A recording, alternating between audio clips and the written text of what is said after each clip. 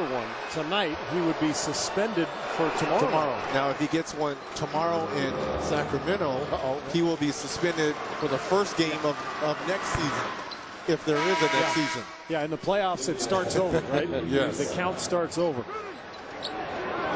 He's yelling at Bennie, and we might.